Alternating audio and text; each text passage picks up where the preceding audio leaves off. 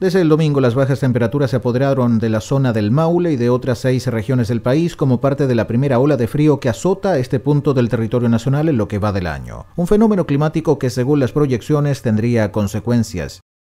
El problema con esta masa de aire polar que nos está bloqueando las precipitaciones que debiéramos haber tenido en la zona central de Chile y que nos está dejando un déficit cercano al 70% y eso es muy perjudicial para la agricultura porque este frío no provoca ni nieve ni precipitaciones, por lo cual es un riesgo bastante alto que durante este invierno, de aquí hasta agosto, la zona central de Chile entre Valparaíso y el Biobío termine con un déficit de lluvia relativamente alto, 20-25%, la última esperanza está puesta en el hipotético beneficio que traería el fenómeno del niño una vez que se manifieste en la región con el fin de elevar los bajos índices pluviométricos acentuados por más de 15 años de sequía.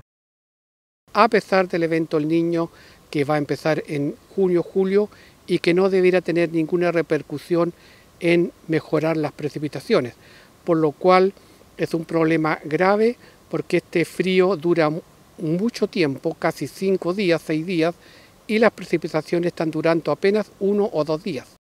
Si bien el pronóstico no es alentador, las bajas temperaturas que persistirían hasta septiembre juegan un rol fundamental en materia agrícola con énfasis en los cultivos frutales.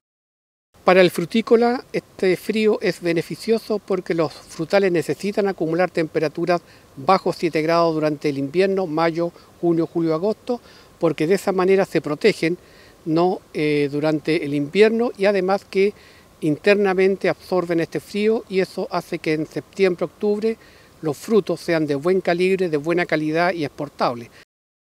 Todo esto debe ser bajo ciertas condiciones. En el caso de la comuna de Maule, esto favorecería a la agricultura familiar campesina. En lo técnico se habla de horas frío. La hora frío eh, se refiere principalmente al tiempo o a las horas que está la temperatura bajo 7 grados Celsius. ¿Ya? Ahí se empiezan a sumar las horas fríos que necesitan los frutales.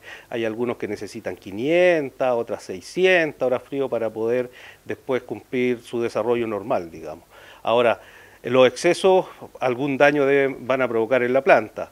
Ahora, si tenemos horas frío que ya sean eh, heladas cuando estamos con brotación, eso es totalmente perjudicial para la planta. En este tiempo, para el frutal no es un daño, sino es demasiada horas que está bajo ese frío, 10, 12 horas, digamos. O sea, sobre 9 horas ya empieza a tener algún daño. Y para evitar esos daños es importante tomar en cuenta una serie de cuidados que permitan la sostenibilidad de los cultivos en este periodo de bajas temperaturas, sobre todo los más tradicionales. Sí, con el frío el crecimiento es menor, los cultivos que están al aire libre, que pueden soportar estas temperaturas como repollo, brócoli, coliflor, el desarrollo no es tan rápido como en tiempos que tenemos mejores temperaturas, entonces eso prolonga el cultivo, se demora más tiempo en salir. Eso nos, puede, nos perjudica un poco, pero eh, generalmente los cultivos al aire libre en esta zona están hechos para eso, o sea, para poder eh, resistir y poder salir eh, con su producción. En el caso de otras producciones, el uso de plásticos gruesos para invernaderos o el doble techo serían útiles para mitigar eventuales daños ante nuevas olas de frío, un fenómeno que regresaría durante los meses de invierno con termómetros que disminuirían por debajo de los 4 grados bajo cero, tal como lo percibido por estos días.